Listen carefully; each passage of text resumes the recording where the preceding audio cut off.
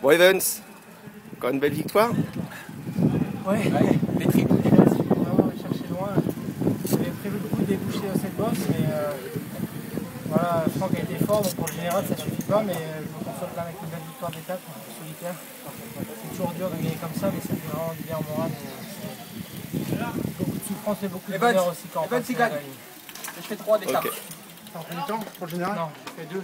C'est qui gagne Evans. Bon, super, moi. L'étape C'est pas me rentrer, mais euh, ok.